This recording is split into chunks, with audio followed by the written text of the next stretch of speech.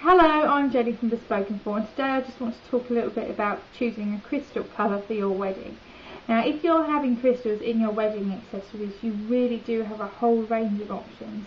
Um, this is a colour chart that I've got which is a Swarovski colour chart and as you can see there are loads of different colours.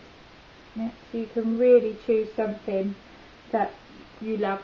So what I offer for brides is I offer a free colour match service. So all you simply need to do is let me know the colours that you're looking for.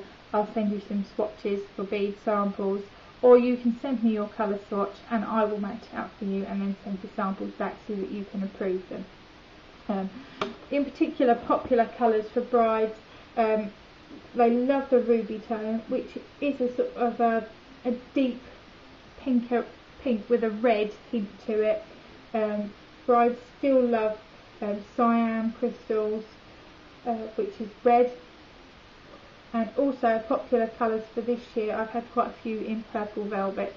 So you can really add extra shades and extra tones to your jewellery, um, including your tiara or your bracelet or even something that you can be hidden away on your garter or whatever. If you have any questions for choosing your crystal colours, please email me jenny at bespokenfor.co.uk. Thank you.